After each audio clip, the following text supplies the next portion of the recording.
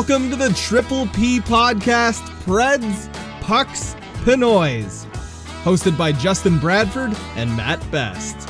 Hello, it's me, Justin, and that's Matt. Oh, I was Right like, there. what are you doing? Welcome to Triple P Preds Pucks Pinoys.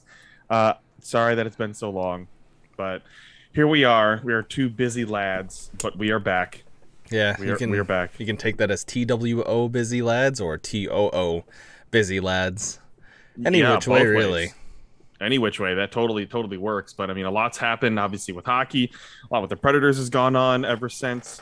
And we are here to discuss it to make you happy because, I mean, actually, it's a really good feeling when people are demanding episodes. That actually makes me feel pretty damn good. it, it is pretty nice. It's I mean, like, half the time we- recording. we come on here half the time and just like shoot the shit for the most part, which is fun and I love it. I just never thought there would be a way in life that people would be like, "Hey, can you two idiots go talk?" I'm like, "Oh, okay." well, we can do that. I hate you for not talking. go talk more and then we'll do it too much um at No, another no. place um but yeah No, but seriously, folks, we appreciate you demanding it. It reminds us because we get so bogged down in our daily lives and in jobs, and I'm so busy right now with mine. Uh, it is Medicare annual enrollment. I'm learning so much about that right now, and that ends December 7th. So be a little less stressful at the day job. Um, have a wedding that, that I'm planning as well. Uh, middle of hockey season, all this stuff. you had a Uh, the trip over the weekend too had a quick trip over the weekend, Yeah, which was here. which was fun. Um, let's see, uh, the fiance's out of town on a on a work trip, and so I'm trying to turn over the house and put up our our Christmas decorations, get those out already, Nice. get the Halloween ones put up. when is it acceptable to put up christmas decorations Okay, we're gonna start off with this. Okay, oh i didn't know you had this plan for later or something no, no, no, I- I'm happy with this. Okay, so let me preface this by saying, you know, I, I realized something. I realized a couple things. This is purely an American argument, I believe, I- because because well, uh, the reason it's, a bigger deal in America about when is it appropriate to put it up yeah yeah because Canadians don't have a holiday in between Halloween and Christmas, a We do. major holiday. we do we have remembrance day Okay, when I say holiday that you decorate for, no okay that makes sense i thought you meant like just a it's on the calendar and like people in canada take remembrance day pretty seriously we have Veterans Day. and- Yeah, and, and yes, it's- I mean, uh, Remembrance Day is huge. For those of you that don't know, I've seen the question asked in the Predators Facebook group of broadcasters wearing the poppy on their lapel. That is a poppy um, for remembering veterans. I mean, it's Yeah. it's something that Americans did before, but it just doesn't happen as much. It's mostly the anything of British descent. You see a lot of it in, in Britain, Canada, whatnot. So that's the explanation there. But I mean. Decorating holidays. So Halloween's a decorating holiday for some folks. Thanksgiving is a decorating holiday. yeah to i feel like that's just like a Like fall decor. yeah like a thing. corn husks and all that other yeah, kind of shit. Yeah, cornucopias and turkeys and gobble till you wobble. yeah, yeah. um, so lots of those things. I used to be the type of person that was like, I'm not doing anything Christmas until Black Friday. That is the day that it's acceptable to listen to Christmas music and put up the decorations, and I'm all out. But until then, Thanksgiving, damn it. The pandemic changed me.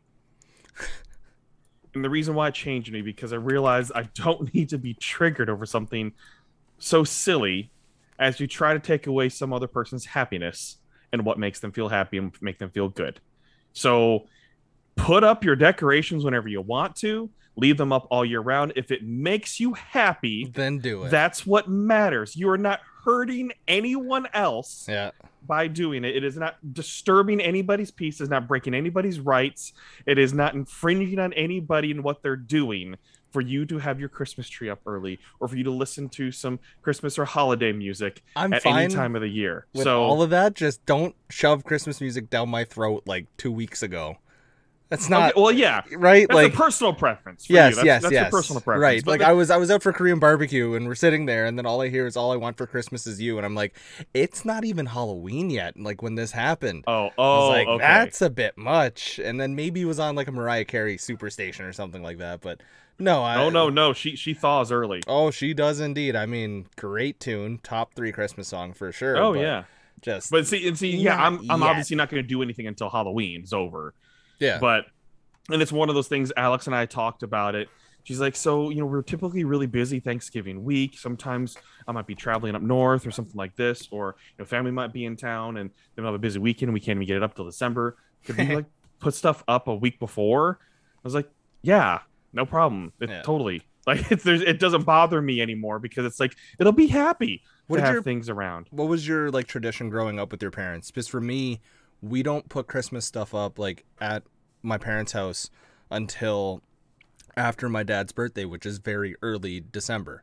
Okay. And we just wait because like the whole thing is we celebrate his birthday and then as a family we put up the Christmas tree, the Christmas decorations, Okay. and then we go hard, like kind of thing.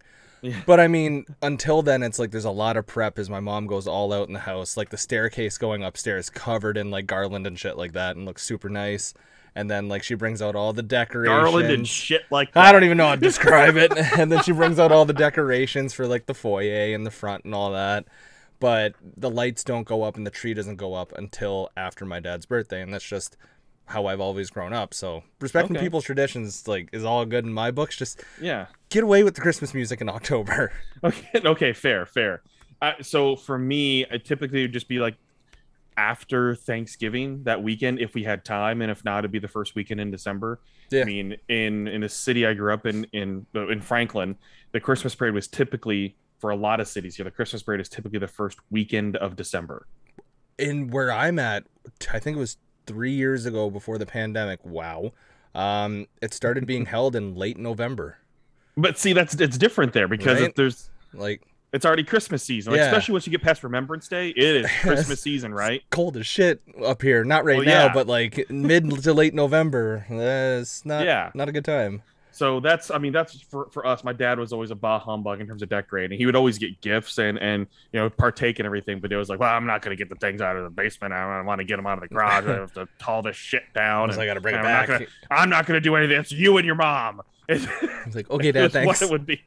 Yeah, it was. That's just how it was. And to me, I'm like, I want to get it. I'm going to put up the village. Oh, I'm going to do this. I'm going to Mm. do this. And I had to stop myself today at Costco from getting the the Disney Christmas tree uh, thing that's uh, goes on the table and it has rotating Oh, trains on it and plays music. And the thing is, I looked it up. It's only ninety nine dollars at Costco. On Amazon, it's 189. So you're you should have got it. No, Yeah. No, no! Don't be a bad influence. should- I'm not being a bad influence. Because the I man already- who, already the man who loves. Disney more than I love anything in this world, I think. I passed up something that was like 50% off and you're describing it in precise detail. Okay, but I have Come something else. on. I have something else Disney coming. I bought um some of the 50th anniversary ornaments from Shop Disney because it was there's a sale. Okay, your excitement for that compared to the thing that you were talking about at Costco, totally different. I know because these are just ornaments. This is Yeah. like an all-in-one thing, but it's ninety nine dollars. Yeah, do you see the big smile you have on your face when you're talking about it? I'll think about it If you like it, buy it. oh god, the That's treat awful you're, do- advice you're doing a the- treat. by- I know yeah. you're doing a treat yourself. I but I did treat myself at Costco, and I t- today I bought a sous vide, and I bought a What's vac. that? Oh Jesus! You have to remember, I'm uncultured. I know it's spelled S O U S V I D E. Yes, I bought a sous vide, and I also bought a vacuum sealer because both were on sale. Oh, yeah, yeah. This is way too fancy for me to ever use. Not ever. You'll grow into it. Yeah, maybe when I'm like older. Don't you say it. I was nice about it. You know I was. You know I wanted. yeah, yeah, but I saw your mouth stop and be like, I shit. had don't to think about off. the word. Um, next time you go to Costco, because I don't have a membership, so therefore I don't go. I need you to try something that I saw on Instagram, Oh, and this I, a hack? it's not a hack, and it won't cost you much money because it's with their food. Much. Uh, I need you to get a hot dog, and I Uh-huh. need you to get a slice of pizza, Oh, do that all the time. and I need you to put the hot dog out of the bun. Nope, not doing it. I saw it on TikTok. Not doing I it. I need you to roll that nope, MFer up Nope, nope, not doing it. throw it down the gullet. No, no, no. It looks so good. No, it doesn't. It's uh, it's hot dog. It's a hot dog. I know, pizza okay. as a bun. okay, yes, that's fine, but I prefer to enjoy each separately. No, efficient. I Have you like seen the episode of The Office where why say more words when few words does trick? It's Oh efficient. God. No, but I like dressing up my hot dog with the fixins and everything too. So I don't want to put that together with the pizza. I think relish and onions are going to taste weird. Like onions are fine if they're cooked with the pizza, but not raw. just get it's just extra meat on your pizza. That's all it really is. You just want me to do it for the vine. I really That's- do. I really want because I know I think you'd probably either take a picture or record it, and all Oh, of yeah, me of wants that. Oh my god! No, what I wish we had here at American Costco was the poutine that you can get at Canadian Mm. Costco. Yeah, no, that is pretty good. That's like Yeah. when I used to uh, live in Ottawa. The only reason I had a Costco membership was to go the over the border to go to Quebec and buy beer in bulk at the Costco, Oh my god! and for the poutine made in Quebec at the Costco. Oh my god! It's see, But dumb me was kind of smart back yeah, in the uh, day. kind of smart, yes. But yes, I bought a sous vide because I want to be able to cook my meats and have them be nice and tender and juicy. You can also do vegetables in a sous vide as well. I'm very much excited for that, and a vacuum sealer because that's some dad energy right there. That is some dad energy. That's But but you need the vacuum sealer to truly sous vide properly. yeah. I'm looking like I'm looking on Google Yeah. Images. I know what a sous vide is. I just Okay. And, and they're both they're both on sale. 50, each of them were fifty bucks off. Oh, right that's now. really good. So here's the funny thing. So I called my dad because I'd been talking about it and, and everything. He doesn't have a sous vide, but he has a vacuum sealer because he buys all these meats and has like two deep freezes in his basement. Smart man. That's a dad. Right. And like so vacuum seals the meat when he buys it on sale. And he's like, Well, Merry Christmas. He's like, What? He goes, You just mommed yourself. It's like, What? I'm like, Oh no. He's like, I got you one already for Christmas. I was just hoping that you would be able to wait Oh long. no, a vacuum sealer or a sous vide? A sous vide. Oh, what are you gonna do? Well, no, he no, he's like, I'll just take it back and I'll I'll find something else for you or give you the money. That's nice. And I was like, okay, I appreciate the thought, Dad. I didn't mean to ruin. It's just it's on sale, and I've been wanting one to try so I can cook. It's like I want to try it, and it's gonna go back up in price at Costco, and it's quality one at from Costco too. It's like, no, no, no, I get it, but you know, your mom used to do this. I'm like, I did not, I did not do that because I didn't say, oh, but Jerry, I want this, Jerry, I want this, and then go buy it for myself because I was complaining about not getting it soon enough. I just been mentioning. I wasn't expecting it because we have a wedding coming up. and We got a wedding gift from them. Yeah, so no, that works. And like, yeah, I understand you buying it before because the Christmas season, you're probably gonna entertain some people and you want to Yeah, make them some. and I'm a food. grown man too, so I wasn't expecting Yeah, a gift like that necessarily. So I was buying it for myself to Yeah. use. No, it's Plus, my good. dad already got me a smoker for my birthday. That was my birthday gift. Your dad's killing it with the gifts. Well, yeah, especially because that sucker was fifty percent off, and he loves a good deal. That- yeah, no kidding. See, it runs But- in the family. But yeah, I kind of, I kind of went all out at, at Costco. It's, it's not good when I'm unsupervised. Yeah, no, I can. See. Spent four Didn't you hundred fifty bucks at Costco. Didn't you buy one of those big ass pillows there last year, or like when we were on the other show? I remember you bringing it. It was like a squish pillow, or a squishmallow, or something like that, and it was Oh yeah, it's the Yoda. yeah, it was freaking baby, huge. Sorry, it's Grogu. Yeah, that was the one like very memorable Costco conversation I Yeah, remember us having. it was the- I know she doesn't listen, so I can go ahead and out her. That was Alex told me to go in and get the Squishmallow at Costco of Grogu or Chewbacca, whichever one that was going to be a gift for me. Mhm. So I bought it, I paid for it. She never paid me back for it. Oh, so that's just the not a pocket. That's a you treat now. She just told me to get I have not used the thing once. It sits on the couch. It takes up space. What the hell are you gonna use it for? I've, to me, that's decoration. One, I, I thought you know something to like lean up against if you're reading or something like that, or to like hold on to. But like I'm not that kind of person. I don't snuggle with a pillow when I'm watching TV. Plenty of people do. I just that's not comfortable for me. I I don't need that. Never have pictured you as like a snuggler with pillows. Oh, when I'm sleeping though, I need four pillows, dude. Me too. I put like okay, we'll get into hockey eventually. I promise. One goes between the legs, right? Yes, sir. One goes on your head, obviously. Yes. One goes like around your arm, Mm-hmm. and then usually I got one like on my back or something. So if I flip over, I got that You one are- I can put them on my You arm. are goddamn right. Yeah, sir. that's that's how you, You- efficiently sleep is with four pillows just like that. So want to feel like I want, I want my bed to be big, but I want my little cocoon. Yes, and then I can always expand my cocoon by moving a pillow. Or- Exactly. yeah. No, no, no, no. And and because having the pillow on my back also makes me feel like I'm getting big spooned. I kind of like that. I I do like that a lot. It's nice. Ah, oh god. So it's comforting. it Just like how the. Preds have been playing. There we go. they've been playing very comforting overall. I mean, So, what a transition. Seven of 10 points so far on this road trip with one game left. This this team has been very interesting because they started off a little rough and we are like, oh, well, this is what's going to be. You know, there's going to be some exciting plays. They're going to win some, they're going to lose some. Right now, the team is clicking even through some injuries, even through a Forsberg injury. But what I'm liking and what's changing so many things for me is that you have players like Matt Duchene and Ryan Johansen playing above where they've been playing the past few seasons. That changes everything from what my expectations were because I was expecting them to display what they have been playing like, which is uh, under normal, under average bad, bad for them. Yeah, bad, especially given their contracts. But them overperforming compared to before, which is what should be normal for them, has changed a lot for this team right now. And then you have some good timely goals coming in from a Tanner Jeannot or a Philip Tomasino, or you have Roman Josi continuing to be Roman Josi, and then you have Juuse Saros just completely standing on his head, making some stellar saves to at least get them a point in Chicago when they probably didn't deserve it as well, has changed what this team is doing right now.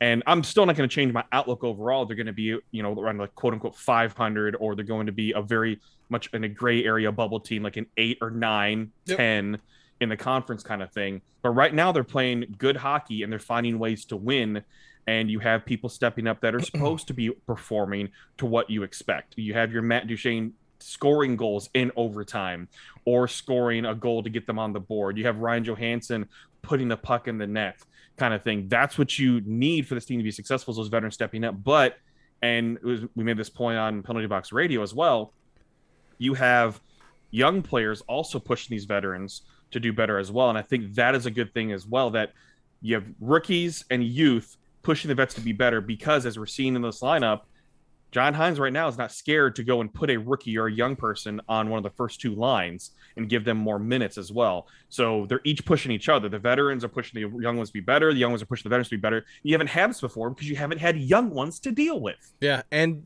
usually John Hynes has been dead set in his ways of this is my line and it's staying that way. And he's been evolving more and more. I know the last time we spoke on the podcast, my biggest problem with him was that he wasn't adapting to what's been happening in the games. He wasn't shifting his lines, he wasn't changing game strategy whatsoever. And he started to do that. I mean, he bumped Tanner Jeannot up into the top six. He took Philip Tomasino off that fourth line and actually gave him a prominent role, despite still not playing heavy minutes like I'd like him to see. But it's also come at a cost. Tolvanen hasn't been playing as well. Right. Colton Sissons is getting an elevated role. Yakov Trenin's up a bit more. You're seeing a Michael McCarron enter the lineup. I want to talk about what you were talking about in terms of where this team could hypothetically finish at the end of the season. Agree or disagree, everything for Nashville seems to be clicking, like absolutely clicking. The things there are way more things going right than wrong. Therefore, a good record of 7-5 and 1, right? The Colorado Avalanche 4-5 and 1. A lot of bad shits happening with that team. Nathan MacKinnon has barely played. Their big stars aren't really playing. Their goaltending's been shoddy at best. My whole question to you now is when both of these teams, if both of these teams go to their median and just play their average hockey, that's what scares me is that we're talking about Colorado being outside of the playoffs right now with 9 points and Nashville being up there with 15. Can Nashville hold off the Jets, the Wild, the Blues, the Avalanche? I'm not too worried about right. the Stars to be honest. The Stars are kind of just not great right now. But to me, it's like the Avs. Can they hold them off? Can they keep hanging and banging with the Jets, the Wild? Can they pick up those important points against uh, Chicago? I mean, they got one, so I'm not going to poo poo on them completely. It, it feels like the perfect storm has to continue. But to me, I don't doubt that it can continue. I just don't think it can keep running at this high of a level. But I don't think they're as bad as I was saying they were going to be to start the year. Like they're comp- they're competitive. Yeah, they're they're and, and more competitive yeah. than I thought. Like I, I thought you and I and we've talked about this that they're a team that will be on the fringe of the playoffs. But for me, that was like, yeah, they probably won't make it. To me now, it's like, yeah, they're looking pretty good, and it's just. I wouldn't be as surprised as I was. I do still have my doubts. Um, how long can you play Juuse Saros until he is just the most tired well, yeah. human being in the world? Right, right. Um, how long does Tanner Jeannot keep clicking at this high of a level? And I want to bring something up with Jeannot too. Tanner Jeannot reminds me a lot of Ryan Hartman. Remember Ryan Hartman with the Blackhawks? I think it was like his second or third year. Let me pull it up. There's also a nice big height differential too. Yeah, I mean, I, just in terms of production and like opportunity. So Hartman gets this big chance with the Blackhawks in 2016-17, scores 19 goals.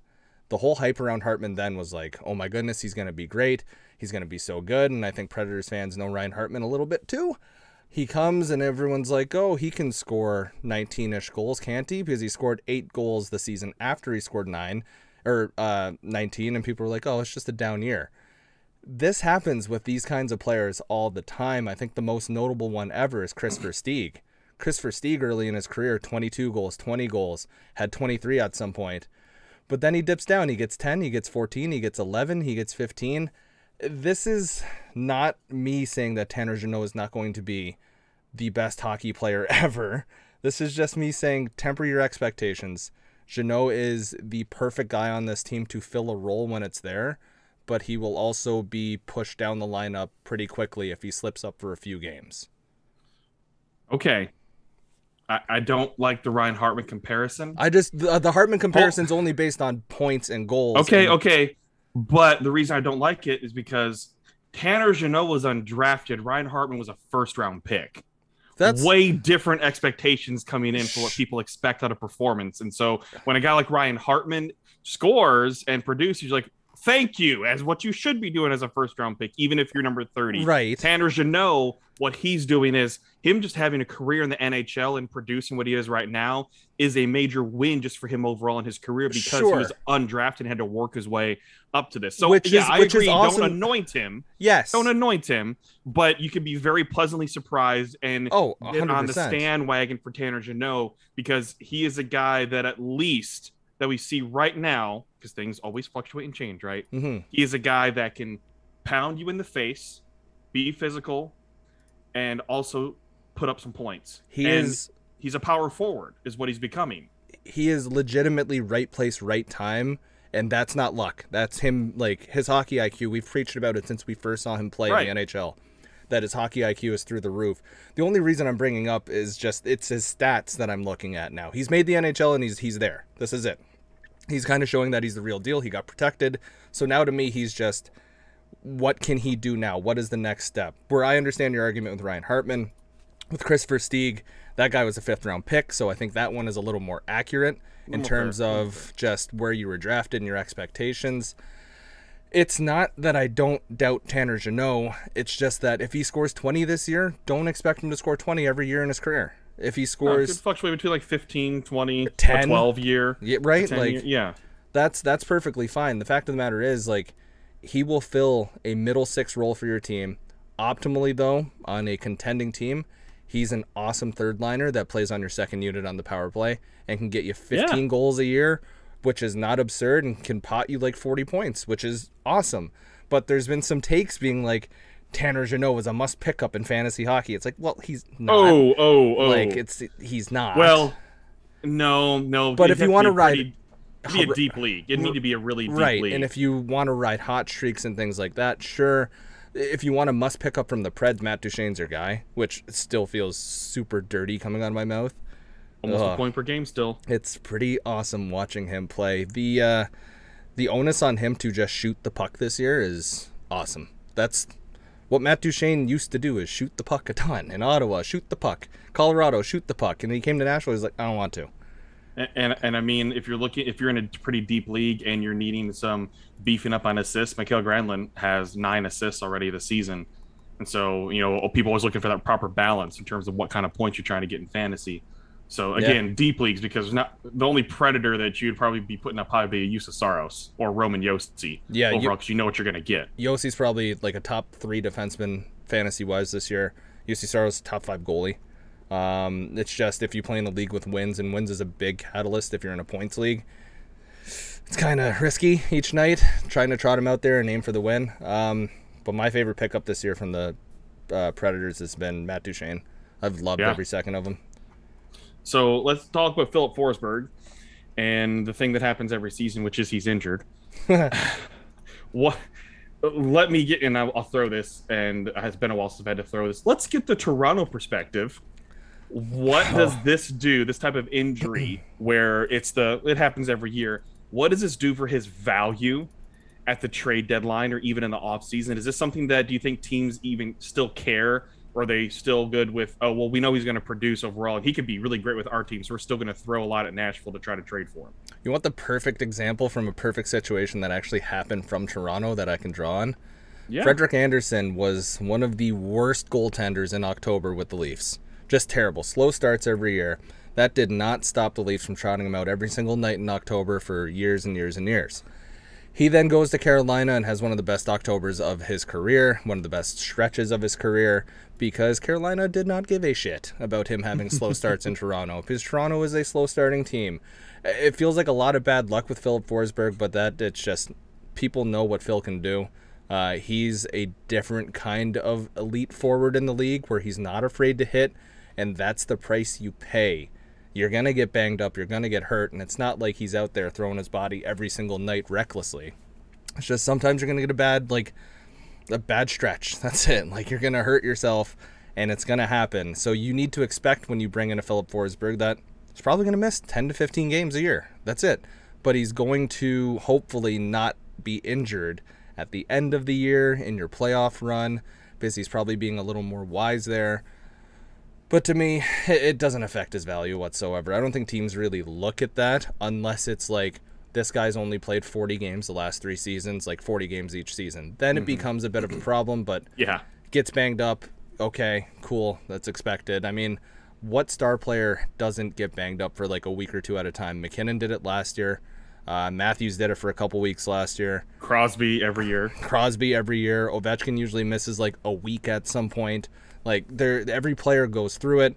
It's just when it's your number one star player and it happens consistently, it's just you get used to it and you kind of get pissed off. Uh, uh, let's see. Uh, breaking news. This just in. I got a direct message from Kyle. Says oh, you're a Jeannot hater. Not a Jeannot hater. I just don't want to make a bet with him that he scores 20 goals to get a Jeannot jersey. he sent me a GIF on Facebook. Better than a borrow. Oh. Uh, he also he messaged me and he thought we retired from the podcast. By the way. Oh, jeez. No, we would put out a message for that. Uh, also, this just in, seeing this from Matthew DeFranks, who covers the Dallas Stars, after the the win that Nashville had over the Stars. The Stars held a lengthy team meeting after tonight's loss to Nashville. The game ended at 10 p.m. and the players did not come out for interviews until 10:30. That team's uh struggling is the nicest way to put it.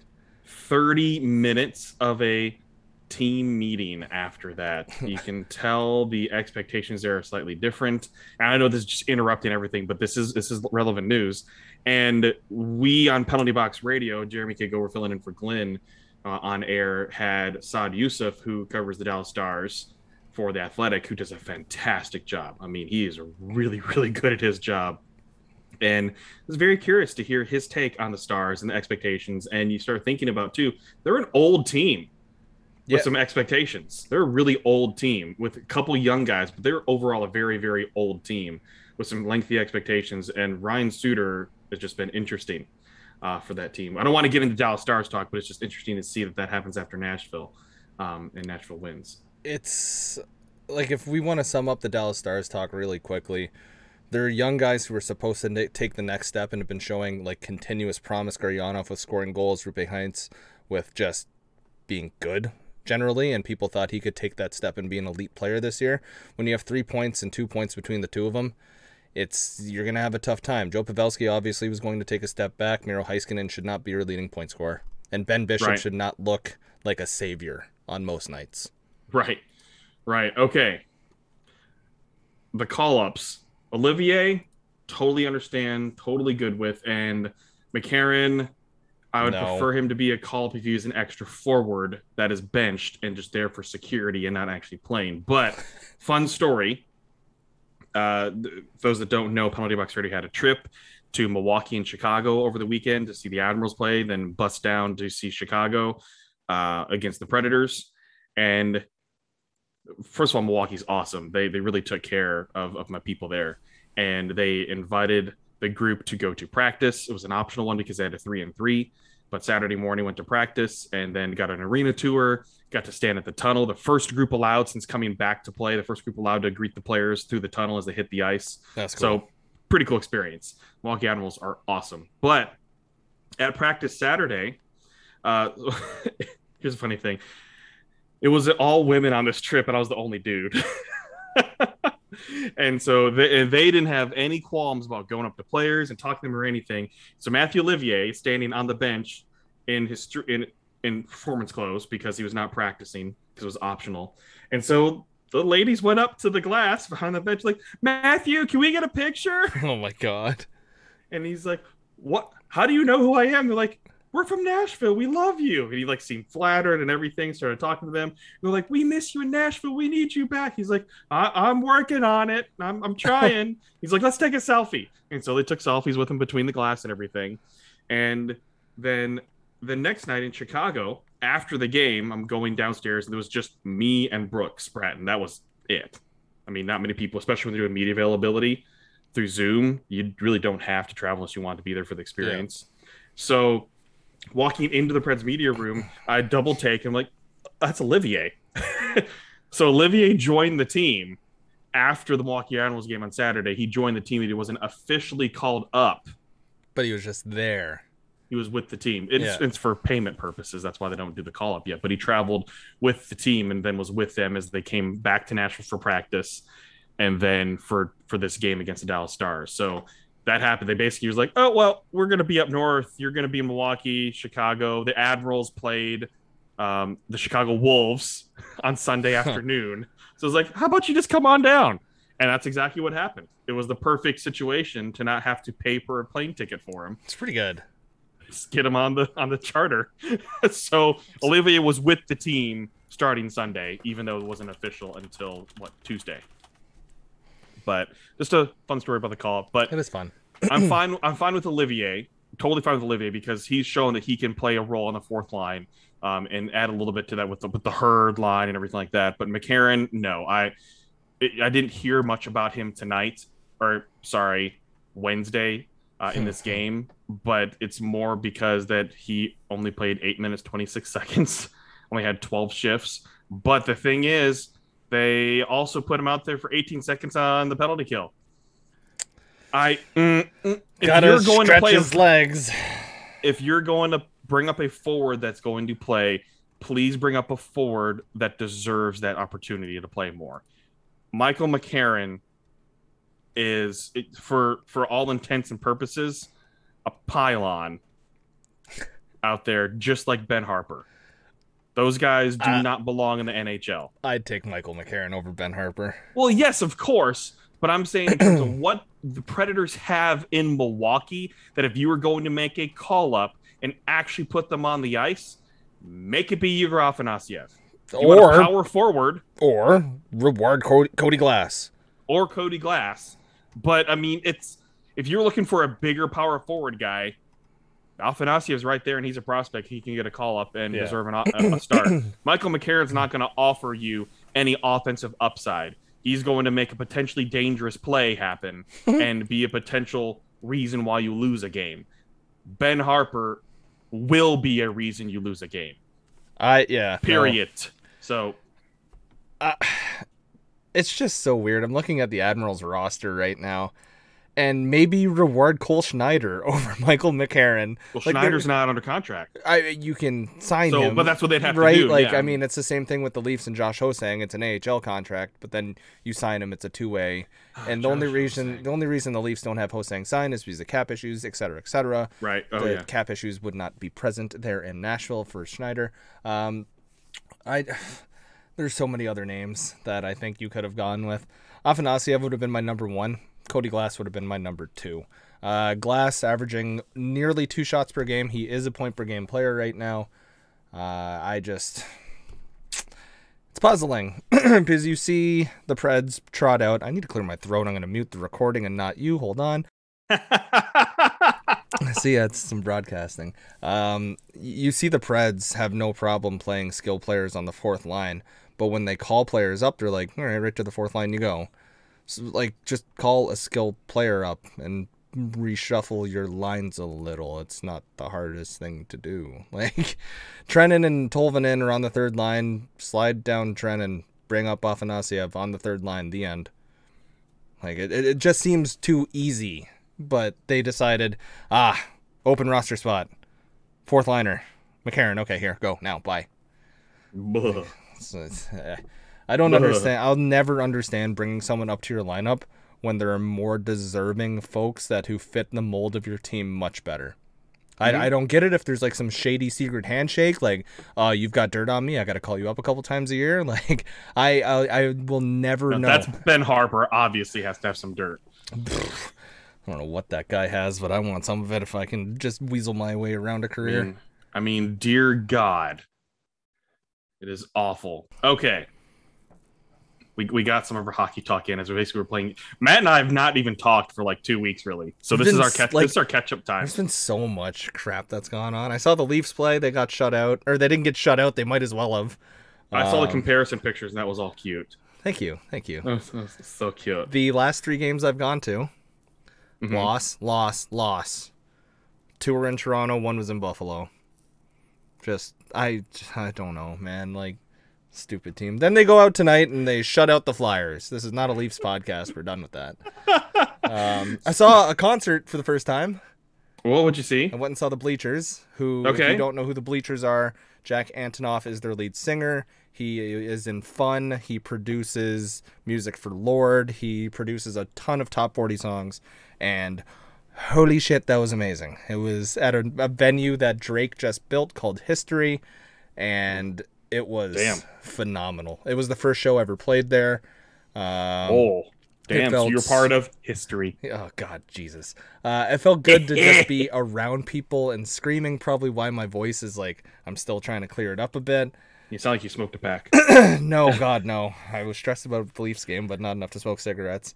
Um, what was I gonna say? I had something else too. Well, Uh, well, I just want to say, I want to ask you this then, because it, it is weird when it's been so long to go into a venue or go into a place where all of a sudden there's a lot of people again. Because, like, we have to, it's uh, obviously here in the States, it was a little bit sooner, but to like re socialize Mhm. into being into groups. So, one, how did it feel going to a hockey game? What was like, what were the emotions you're feeling? And two, what did it feel like as you're going, oh my God, I'm going to see a concert, I'm going to see live music, I'm going to see something cool. What, what was going over with in your head? So the hockey game to me, like it all starts with what do I do before kind of thing. Like usually go out for a couple beers with a few buddies. Rub one this out. time, rub two out. Um, we went to a bar and had like two dollar beers and a bunch of people that I hadn't seen before or like because of the pandemic. They came out because they live in Toronto and there was like eight or nine of us at the table. I was like, I haven't seen any of you in forever. This feels good. Then when we were in the Uber going to the Leafs game, I was like, I got my jersey on. Everyone in the car has their jerseys on. I was like, we're going back. And the crowd, despite the game being terrible, was mm-hmm. loud because I think people just wanted to be around others again. And if you go to a Leafs game on a Monday against the Los Angeles Kings, tickets are usually a lot cheaper than they are if you go on a Saturday against the Bruins. And so the people that are there, the fans that can't afford those tickets, therefore only go to a few games a year and are more than willing to scream, ref, you suck, with another word in there, and are just more willing to stand up and socialize. Like, the whole time we're making friends in line, we're making friends at the bar, you're having a laugh in the bathroom, which is su- super weird still to me. Never understand the people who bring their drinks in there. Um, Yeah. yeah, yeah, you don't mix pee with beer. Uh, but at the concert, it felt like I hadn't skipped a beat in terms of going to shows. Because we got in line and me and my buddy instantly made friends with this group of three who came to the show from Edmonton because this is the only Canadian stop on the tour. And so we talked to Oh. them uh, all during the line. Like the first, it was it was kind of a little awkward at first. Like the oh, what do you do for a living? What do you do? And once we all got over that, it was just you guys want to hang out for the whole show, and then hung out for the whole show, and they were super awesome people. Uh, it just it didn't feel any different. Like there, I guess there was that peace of mind for me that everyone had to show proof of double vax, and you had to go in with that kind of thing, and that was a little better for a lot of people in terms of you can have your mask off if you have a beer in your hand and you're screaming a song at the same time.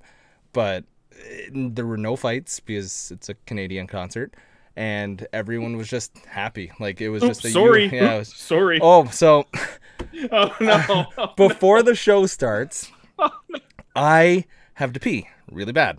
And I had this great spot with a bunch of our new friends and my buddy in the middle, like in GA. And two of us were like, okay, we're to go pee and then we'll just snake our way back in, which is normal. Everyone always does that. You just tap people on the back. Sorry, excuse me. So I'm going through and there's this big mother effer just not moving for anyone. And so I'm like, I'm bigger than my buddy who came with me. My buddy's like 130 pounds, 140 pounds soaking wet. So he can kind of sneak through and bump Buddy and he doesn't know.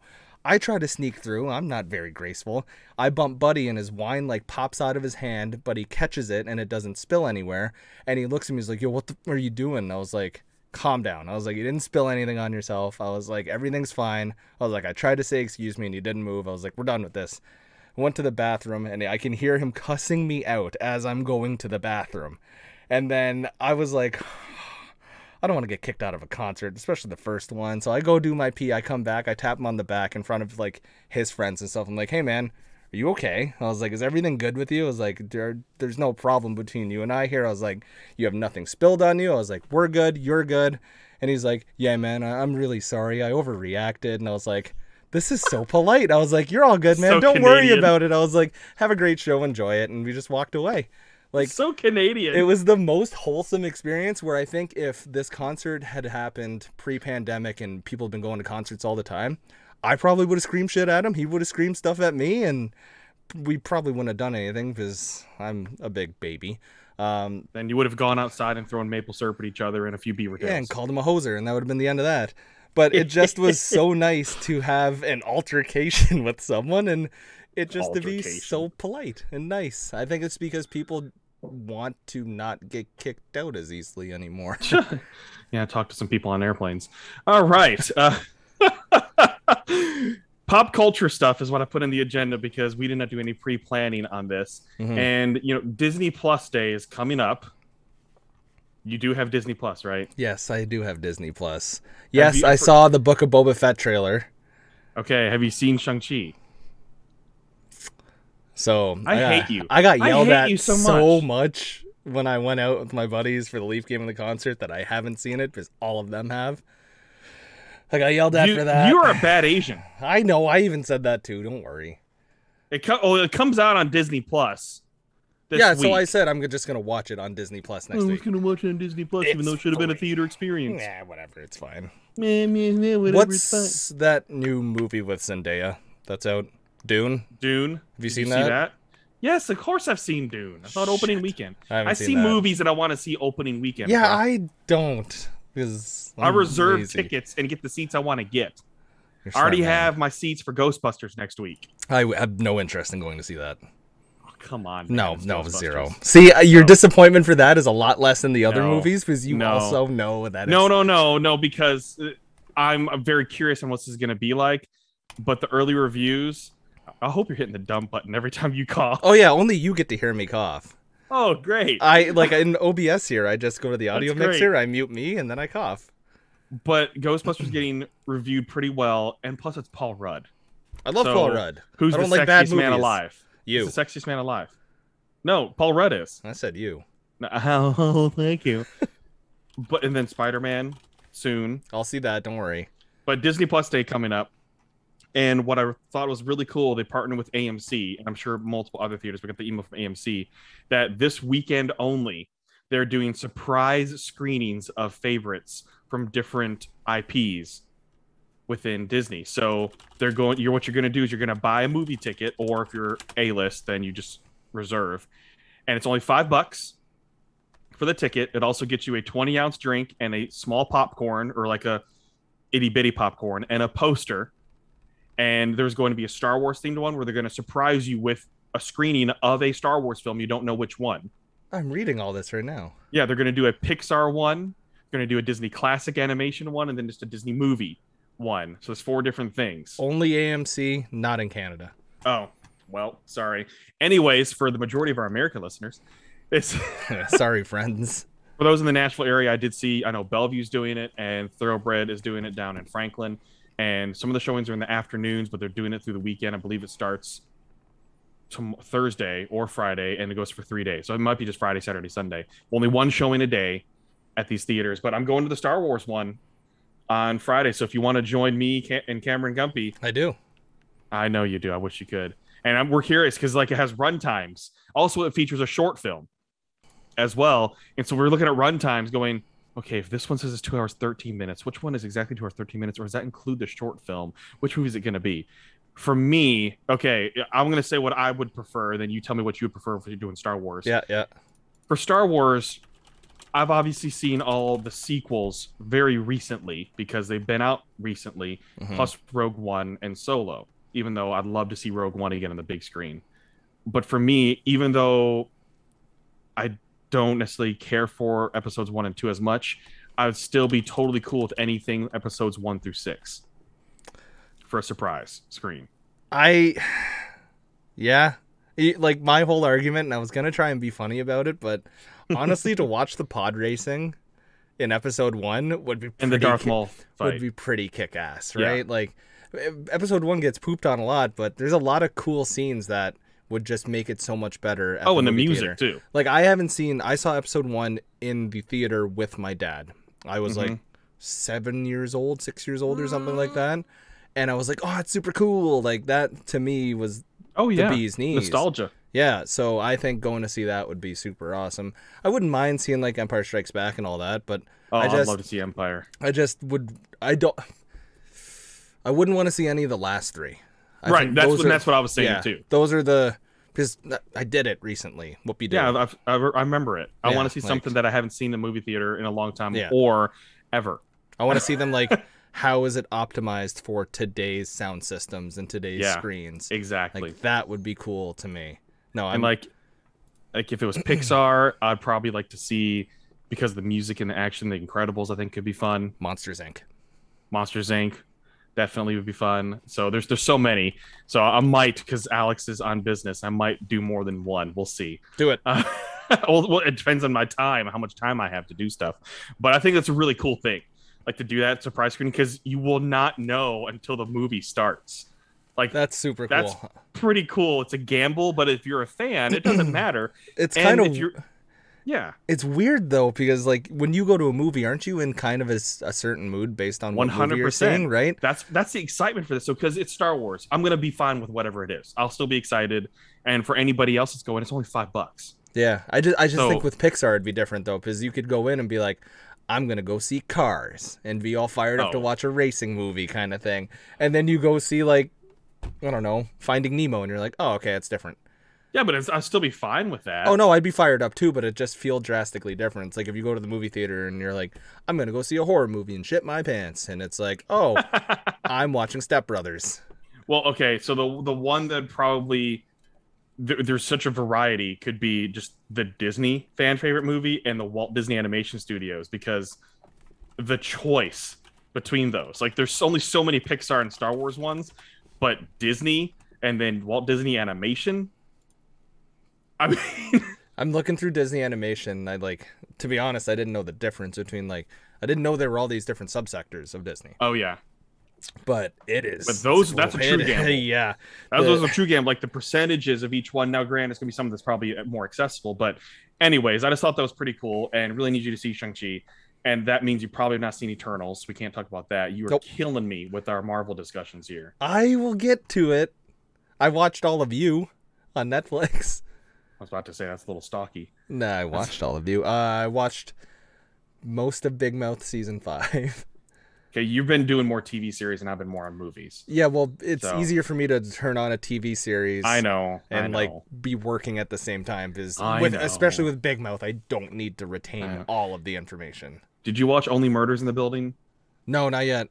Okay, I want to watch really that good. like sitting down with a blanket and some popcorn and like enjoy that. It's really good, and it's hilarious. It's so good. I want. I, I remember. Yeah, it was the last show you told me about. Yeah, so so good. Um, Van, in so you have not seen Dune, Nope, right? I do want Dune is there for me to like. I need to go see this Especially in the it- theaters. I forgot you don't have HBO Max though, do you?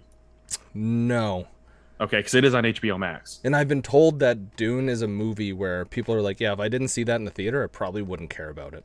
Yeah, because the the way the the music is with the score, um, some of the shots, it's a beautiful film. Yeah. Similar to Eternals is a beautiful film, and Dune leaves you with like a, what was that? But it's going to be part of a trilogy, so there's there's more to it. And that's not a spoiler because it's very well known at this point and everything too. So you do get left with a little bit wanting more. But Dune is definitely there's a lot, plenty of WTF is going on here, I type love of things, Zen- which is okay. Also love Zendaya, so I'll go see it. Um, friend of the show, Nick Andrade, was the one who told me about Eternals, and he was like, "It was alright, like nothing special." He It's a setup film. yeah, he told me he's like the ending kind of makes it worth it, but he told me, and I'll have you answer this: is the acting really as bad as he's putting it out to be? He's No, I like, thought the acting was great. okay, he told me he's like there's a token funny guy, and then everyone's pretty okay. Angelina Jolie's good, and he's like then everyone else is just like whatever. No, I well here's the. It depends on how much you want me to spoil. Well, I don't care about spoilers, but in case other people have, Okay, I'm going to talk about Eternals right now. Okay. The acting was really good because they're androids. oh, that's weird. So the the Eternals are built to not evolve, meaning what they have is what they have when it comes to their overall emotions, their personality, and everything for thousands of years. Like for seven thousand years, nothing about them really changes. They How- do feel some emotions like love and caring and everything like that, and, and humor, but that does not evolve. How into the movie do I find this out?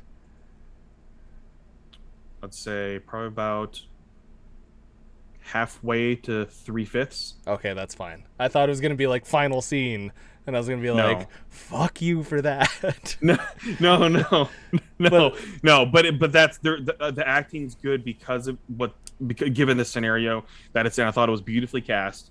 Um, it's a beautifully done movie. Chloe Zhao. I mean, that's what I expected from her. Um, it paints an interesting picture of things. It felt s- sort of rushed, but also slow, if that makes any sense at all to anyone Mhm. that's seen it, or even just to you. Uh, that it would be supported now because we see how good TV series have been with so many things when it comes to science fiction and fantasy and stuff. The TV series help can explain and, and the plot and character development, like in Star Wars, even like in Marvel now, that it could have been good to have that supplemented. Uh, but it does paint a lot going in for the future. It sets up three different movies. okay. Like it's it's one of those movies where it's going to become a film that gets reverted back to a lot reference, just like how uh, Endgame made you have to go back to watch Thor 2 The Dark World. Yeah. You're like, the worst one? Really? but, but it sets it up, or how. Um, what was it? WandaVision set up to where you had to go back and watch Age of Ultron. you're like, Yes. okay, come on.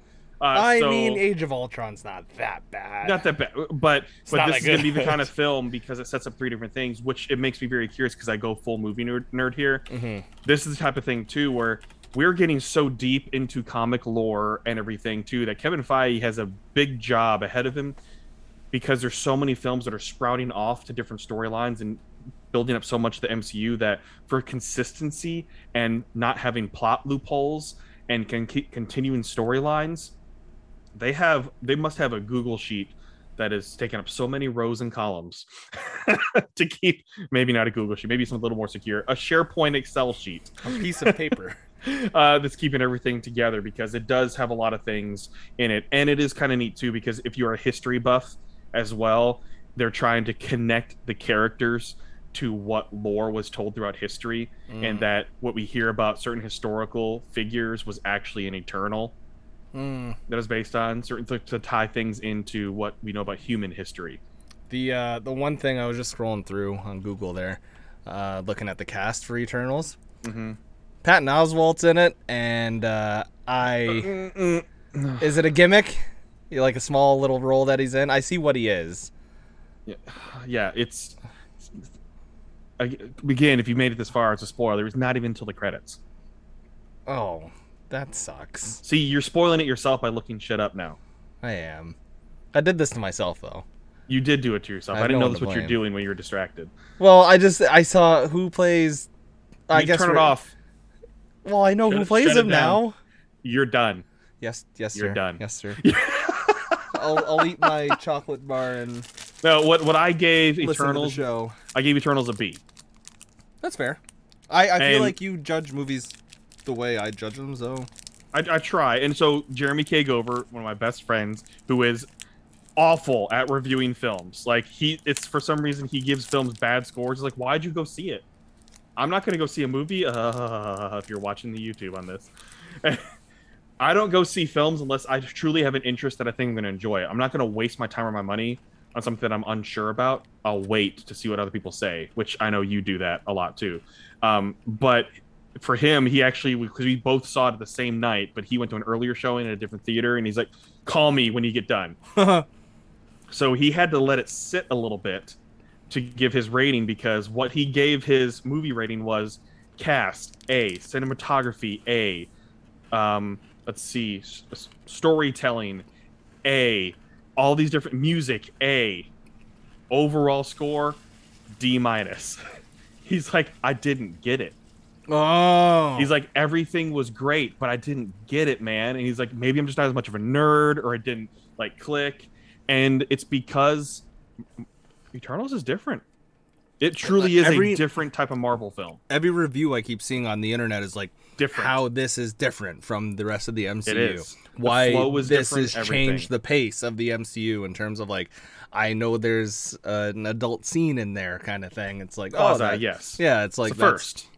Right, and that's all that kept popping up. I'm like, okay, like this is this is different. They're trying to be It not is. edgier based on what it looks like, but just different. More real. yeah, more more real to tell a story and everything too because it's an integral part of a story within it as well and so i get it and it's like man they're the, marvel's getting into comic books lore now like they're getting deep into the characters that they're telling it's not about captain america or iron man anymore they're diving deep like guardians of the galaxy was actually diving deep but it worked out because of the type of story that james gunn told Mhm. Eternals is a much broader, bigger, celestial story that is spanning thousands of years all of a sudden. So it's different. So I couldn't blame him on that score. It's like if you don't get it, then I, I understand because he gave everything else an A. Yeah. That's why I give it overall a B. But everything, everything is a lead up to Spider-Man. That is the one they're closing out the the year with. They're closing out the year. It's a holiday season movie. It's all about Spider-Man, baby. Like we have one so I, trailer. I have to see it then. Like I have not not Spider Man. Obviously, I'm gonna go see Spider Man. That's not even a question. But I have to go see Eternals. well, um, no, this there's no connection between Eternals and Spider-Man. I'll, I'll say that. Oh, okay. No, I'm just saying that Marvel, in terms of the releasing, you had Black Widow, which was way delayed and fine. Shang-Chi was huge, and that had implications further beyond Spider-Man, but definitely dealing with like the next kind of Avengers setup. You have Eternals that sets up three different movies. You had Venom 2, Let There Be Carnage, actually helping to set up Spider-Man potentially as well. I had a lot of catching up to do. Yeah, I would. I mean, Venom is a fun movie. It's not a good movie, but it's a fun movie I, the, the latest one. Uh, that's the way I can describe it because it's not like I'm going to be like watching it all the time. It's not one of those movies. But Spider-Man has so much hype and implications on it because we have one trailer, one movie poster. That's it. We're a month away. That's all we have. Now we could get more after Eternals gets the, its run through. get a weeks, teaser. but one trailer is all we have for Spider-Man. Like they don't have to do anything more because the hype is there. They know it. Oh yeah. We know And we're I- already getting a couple villains to return. We know we're getting some of it, but they don't have to tell us anything more. They know they're going to sell a shit ton of tickets It's. Do you think it's gonna be the top grossing? of the year.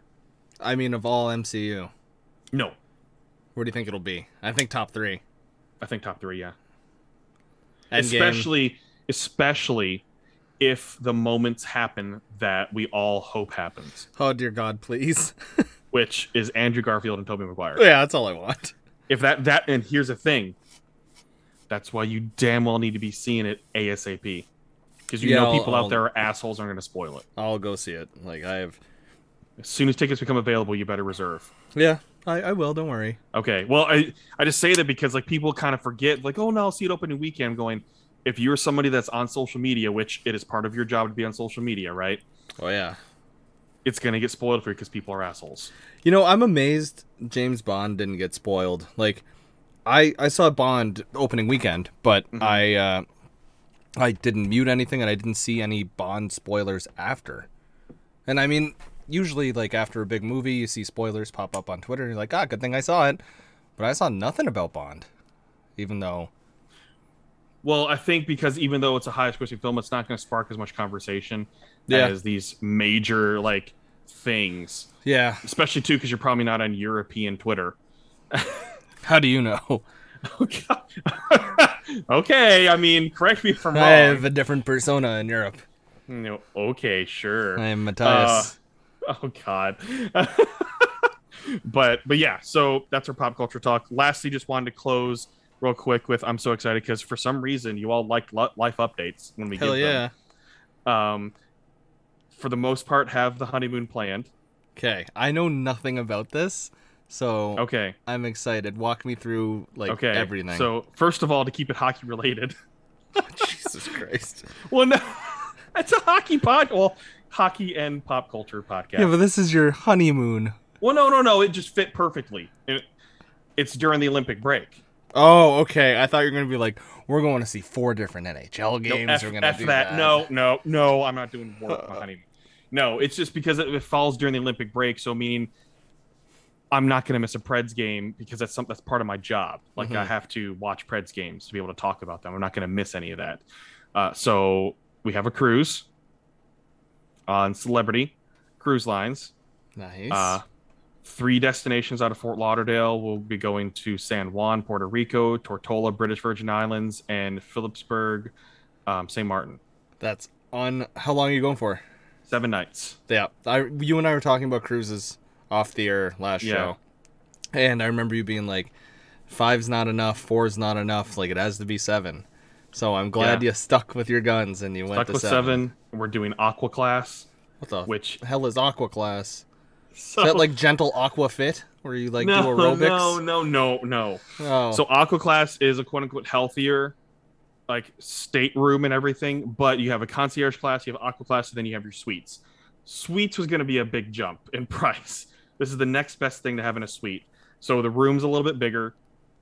Uh, you have access to one of the uh, one of the restaurants that has a little bit healthier options or I'm more I'm gonna look it up. natural foods and everything. So it's not going to be as bad for your stomach, which we might do that. But you have access to all the other restaurants as well. But this is an extra access. You also have a heightened breakfast menu for delivery to your delivery to your room that is included. You will also have uh, champagne in your room every night.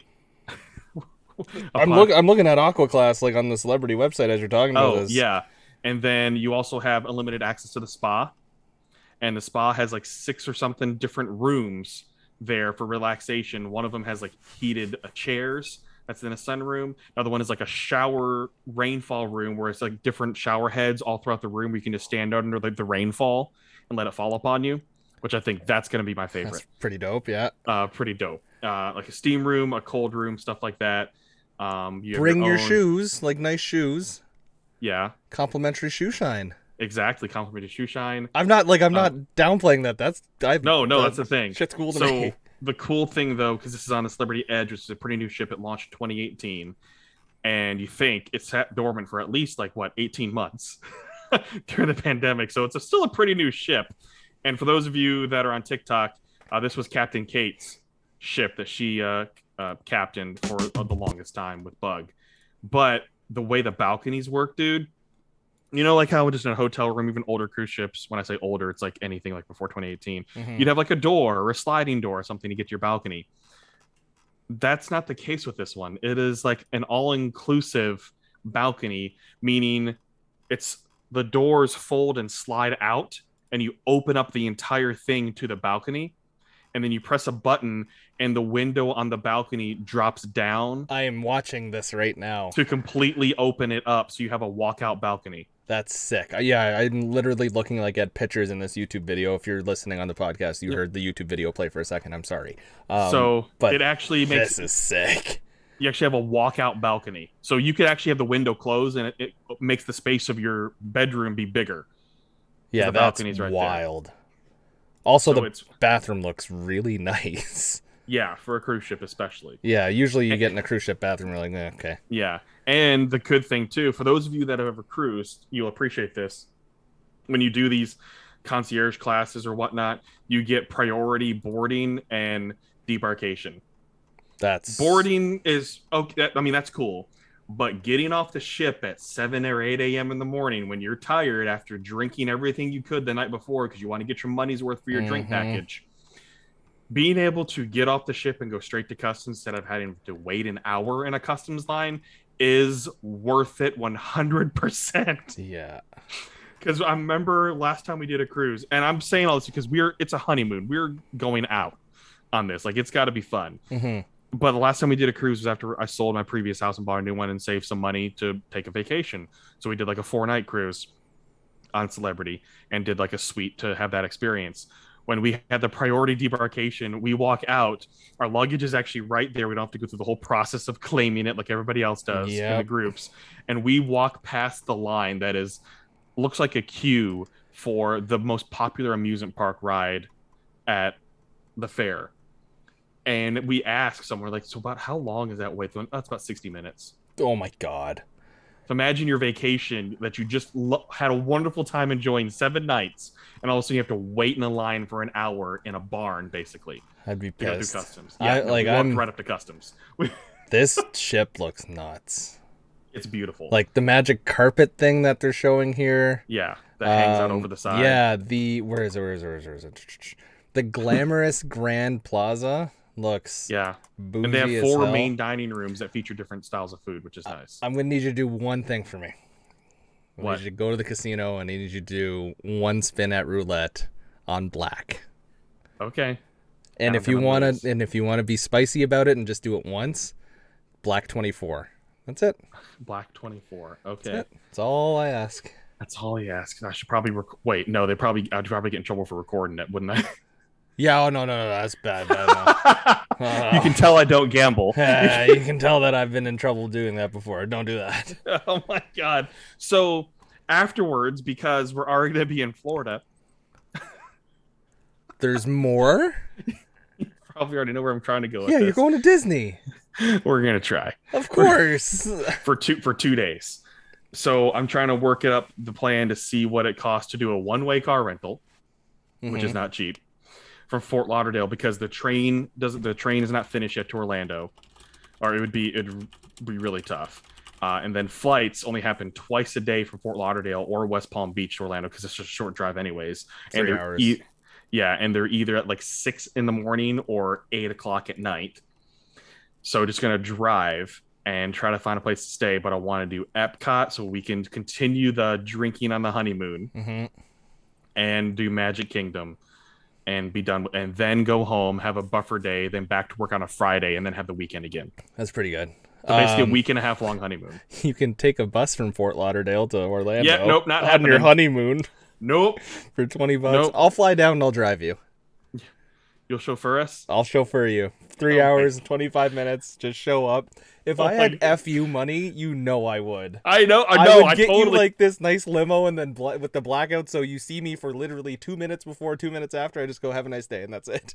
No, it would be hilarious though is if you had someone else outside hand, hand with the sign, and then we don't know it's you until we get in. You drop the, the privacy window down. What's up, motherfucker? yeah, and then I just roll it up as you're going Yeah. what, and then we just What the hell? yeah, that would be fun. I would enjoy that. That like I that's see if me and you were rich, that's the kind of things we do. Right. Yeah. This is one of those things too. Like this is not this is not rich money. This is saving up, and also and also wonderful gift from the parents. Like we got our wedding gift early, Oh, uh, which is nice. Um, and that's helping with that obviously. And I'm having to hoard my vacation days Mm, and my floating holidays. It is all going to that. that's pretty good. Um, which is good because my boss even like you enjoy. Just enjoy, it's your honeymoon. Yeah, you enjoy it. that's when you know you have a good workplace, like a good workplace Yeah. environment. Well, especially because we'll be through our annual enrollment and the pressure will be not as heavy. Mhm. at that time. The pressure is always on. It won't be as heavy as it is right now. But that's that's what's new with me. That's I don't have anything to share that's that good, so Okay. uh-uh. Well, you learned you learned exactly what a sous vide is. I though you knew did. what That's it was. yeah. I just to me, if you were like the thing that goes in water, you stick it in in a bag, and I'd be like, yeah, I know that. It's called a cut off penis. That's why mine looks like that. Oh, told I Better vacuum seal it for freshness. That's why people laugh at me. Sheesh. All right. Well, glad to be back. I'm glad to catch up with you, with you, buddy. Yeah, this this was good. Let's let's do this more often. Let's, let's do it again. People are like, yeah, I know. Damn it, I keep screaming no for it. Shit, do it. Uh, I was gonna say Uh, let's sorry. let's plan our next podcast, but we do that off air. Yeah, we'll plan it. Yeah. All right, folks. He's at best of Matt at triple P podcast underscore. You can always tweet us demanding more episodes. Remember, easier if you just tweet at both of us instead of just the podcast because we'll probably check that more often. Even though I have a column for it on TweetDeck all the way to the right. Uh, and I'm at Justin B Bradford. Uh, make sure you're subscribing to us on Spotify, Apple, wherever you get your podcast. this has been Triple P Preds Pucks Pinoys. Goodbye. Bye.